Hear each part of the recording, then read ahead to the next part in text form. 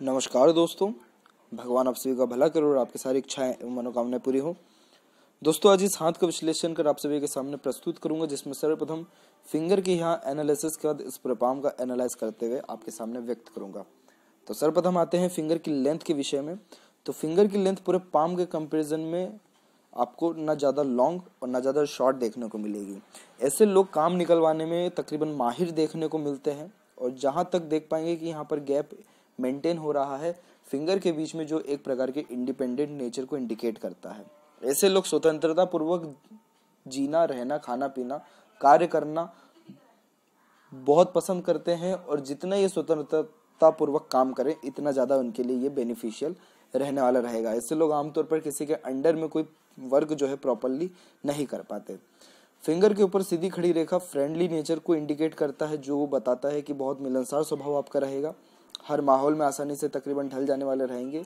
और गठान यहाँ पर आपकी बहुत अच्छी है, जो यही बताती है कि स्पष्टवादी बहुत ज़्यादा आप रहेंगे। अपने बातों को बहुत स्पष्ट रूप से किसी की भी सामने रख लेने वाले, बोल देने वाले रहेंगे, कोई भी बात मन के अंदर नहीं रखेंगे।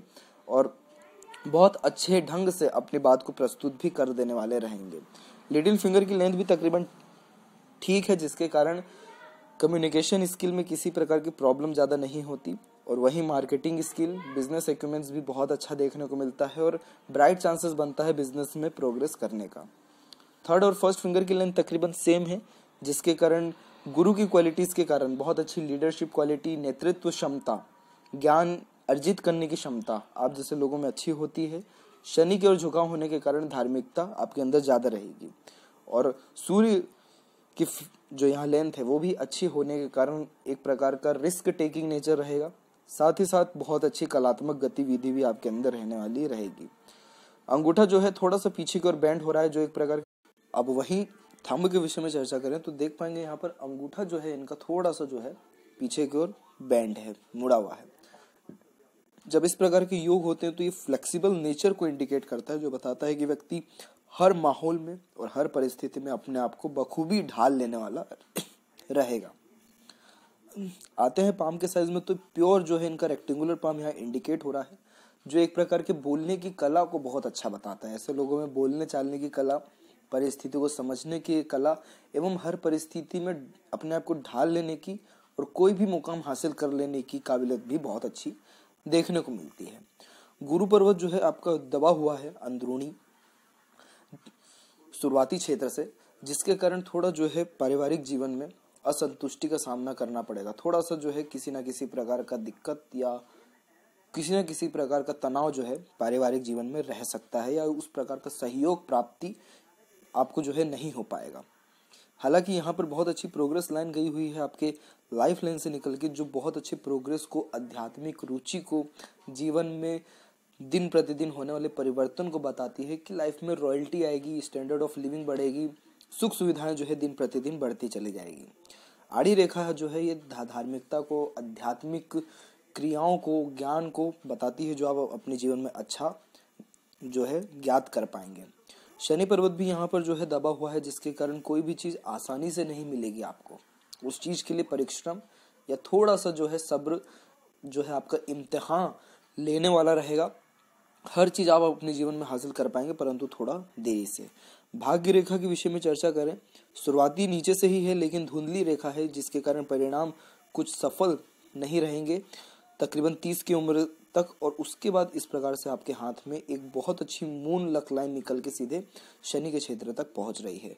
मून लक लाइन का सबसे बेस्ट फ़ायदा यही होता है कि ये मैरिज के बाद होने वाले सक्सेस को इंडिकेट करता है कि लाइफ पार्टनर का आपके जीवन में सपोर्ट रहेगा या उनका लक रहेगा, जिसके कारण आपकी लाइफ में प्रोग्रेस अच्छा होगा।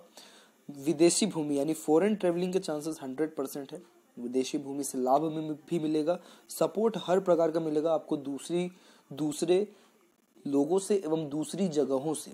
यही रीज़न है कि जितनी ज़्यादा यात्रा करेंगे, जन्म स्थान से दूर रहेंगे, उतना ज़्यादा आपके जीवन में प्रोग्रेस होता चला जाएगा। तो ये एक प्रकार का सपोर्टिव लाइन है। जब दोनों लाइन दोनों लाइन मर्ज होकर के एक साथ चले तो ये अपने आप में भाग्यवान होने का सूचक होता है। तो धन जीवन में अच्छा रहेगा। कोई कमी नहीं है। डबल सोर्स ऑफ़ अर्निंग रहेगी, क्योंकि बार बार ये रेखा चल करके आगे विभाजित हो रही है। तो एक से ज़्यादा सोर्सेज से अर्निंग आपके जीवन में रहने वाली, रहेगी। थोड़े शनि के उपाय करिए। तो चीज़ें और आसानी से आपको मिल जाने वाली रहेगी। सूर्य पर्वत पर चर्चा करें तो सूर्य पर भी एक सत्यतिक रेखा थोड़ी कंफ्यूजिंग माइंड की निशानी हो जाती है। कहीं ना कहीं ध्यान का भटकाव एवं खासकर ये करियर में होने वाले भटकाव को बताता है कि कभी आपका मन इस क्षेत्र में लग रहा है तो कभी आपका मन उस क्षेत्र में लग रहा है।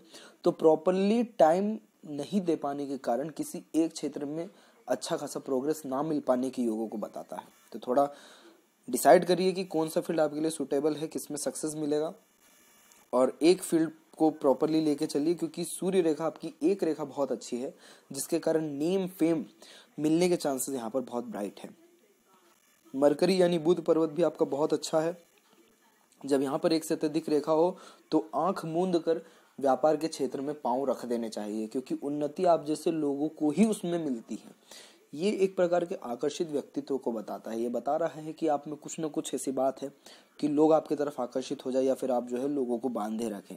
तो ये एक प्रकार का बिज़नेस लक है, जो अच्छा सक्सेस देगा। चतुर चालाक किस्म के रहेंगे। लोगों को समझने की काबिलियत, उनसे काम निकलवाने की काबिलियत ये आपको बुद्ध दे रहा है। यहाँ पर आपका बुद्धि विवेक बढ़ा रहा है। तो ये बहुत प्रबल योग बन रहे हैं। हृदय रेखा आपकी गुरु के क्षेत्र से कनेक्टेड है और बिल्कुल गुरु के क्षेत्र से ही कनेक्ट होकर के चल भी रही है, जिसके कारण ये एक प्रकार की इमोशनल नेचर को इंडिकेट करता है। भावुकता बहुत ज़्यादा रहेगी। इसमें सबसे खराब बात यही है कि आप जैसे लोगों को धोखा बड़ी आसानी से मिल जाता है। कोई भी व्यक्ति आपका इजिली फ़ायदा उठा सकता है, काम निकलवा सकता है तो थोड़ा इमोशनल नेचर को कम करते एवं दरकिनार करते हुए प्रैक्टिकलिटी अपने लाइफ में आपको जो है ज़्यादा लानी रहेगी। साथ ही साथ बहुत जल्दी किसी पे भरोसा नहीं करना है। हालाँकि बहुत ज़्यादा ईमानदार रहेंगे, जिससे रिलेशन रखेंगे, अपने तरफ़ से हंड्रेड परसेंट देंगे और गुरु से कनेक्टेड होने के कारण सुख सुविधा के पीछे आपकी भागदौड़ या चाहत जो है ज़्यादा रहने वाली रहेगी। आते हैं माइंड लाइन के ऊपर तो माइंड लाइन आपका इंडिपेंडेंट चल रहा है, इस प्रकार से एकदम स्ट्रेट एक तो आपके अंदर जिद्दीपन भी रहेगा, साथ ही साथ इंडिपेंडेंट अप्रोच भी रहेगी, जो कि फिंगर से देखने को मिल गया था।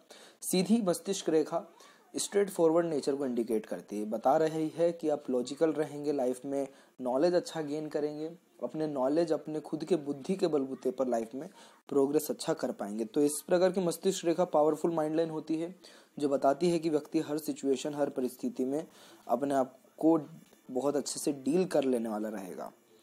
वहीं आपकी जो लाइफ लाइन है, ये गुरु से कनेक्टेड है, जिसके कारण बहुत एम्बिशियस रहेंगे और अंत में आकर के विभाजित हुई है केतु के क्षेत्र पर, जिसके कारण ट्रैवलिंग लाइफ में बहुत अच्छी रहेगी, यात्राओं को सुख बहुत अच्छा मिलेगा, उन्नति जो है लाइफ में बहुत अच्छी आपकी रहेगी। जो जो चाहेंगे तकरीबन हर चीज़ आपको हासिल होगी और गुरु से कनेक्टेड होने के कारण आपके अंदर जुनून एक अलग ही लेवल का रहेगा किसी भी चीज़ को हासिल और पाने का।